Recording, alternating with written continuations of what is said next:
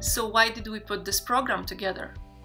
Well, we want to demonstrate the impact that can be achieved by pulling together global talent from governments, academics, innovators, and community groups. So the first element was to build a framework to pull governments together. For that, we needed to push boundaries even further. And in that sense, this Global Scale Up program is experimental. It is innovative. It is working not just across borders, but jurisdictions.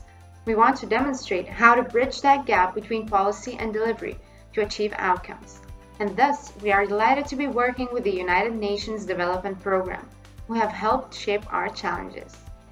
This is about demonstrating leadership leadership in piloting new ways of working, in building on our program's expertise within the GovTech and civic tech sectors, and leveraging that expertise, know how, access, and opportunity for the benefit of the planet.